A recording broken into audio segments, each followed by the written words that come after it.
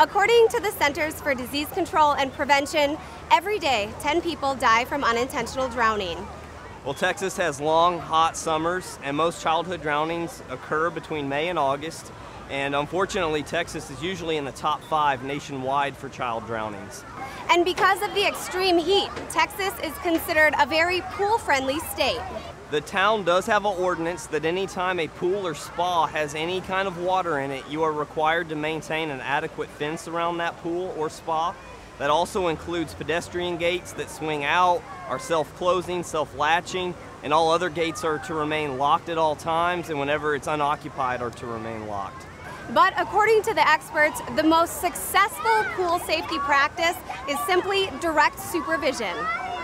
Direct supervision is the most successful way to hopefully prevent a child from drowning in a pool.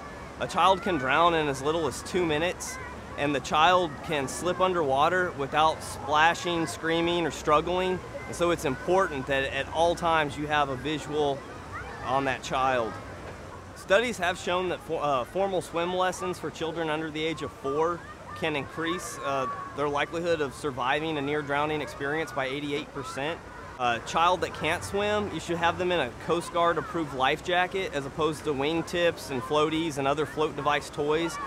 And it's imperative to always be prepared for an emergency.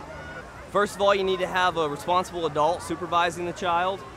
That adult needs to know how to swim and then having a way to call for help and having someone that knows CPR on hand is important. And uh, to learn CPR, you can call the Flower Mound Fire Department or the American Red Cross. Remember, drowning is preventable.